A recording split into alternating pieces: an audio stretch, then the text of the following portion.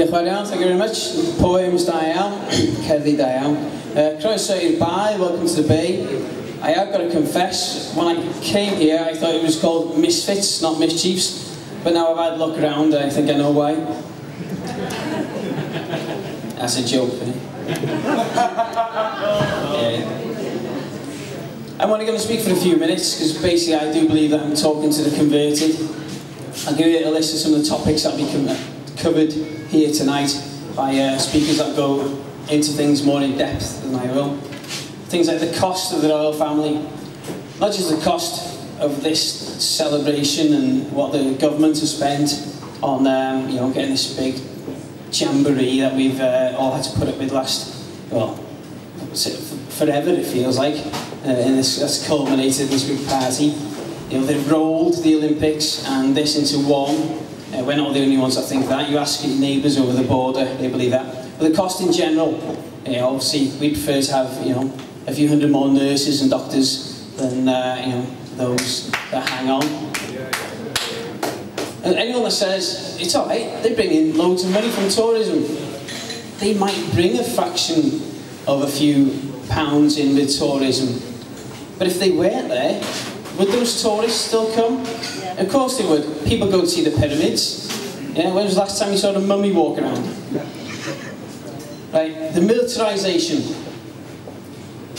Uh, not only, well, people are going to talk about the recruitment in schools, but has anyone ever asked why it is that the soldiers of Great Britain swear an allegiance to the head of state? They swear allegiance to the Queen or to the King. They don't swear allegiance to their country or to the people. That's what they should do. You know? Ask the soldiers that. Sorry, ask the soldiers that. Propaganda. Just after Princess Di died, I think the royal family was almost on his ass.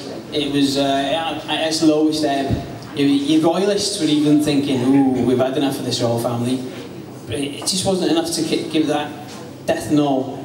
But the propaganda machine has been in full swing We can't change that. We haven't really got our own propaganda machine. You've got to rely on word of mouth. Yeah, you've got to tell everyone that you know everything that you know about what you know.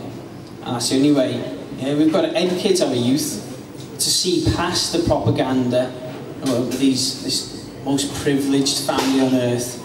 Yeah? So the only way you can beat the propaganda war is to do it from the bottom up. The royal estates and the crown estates, like I said, they're wealth, they're massive wealth, but they own the crown estates. So when they throw in these windmills up, wind farms up everywhere, and then they're making money off them. Yeah, so it's, it's a win-win situation for them. You know, it's something like a tiny percentage of the people of uh, you know the country, I've, and I say that as, as Britain, own all of Britain. It's wrong. The biggest point to me, as a Cymro, as a Welshman, is simply they're not mine. They don't represent me. My royal family is dead in the dirt.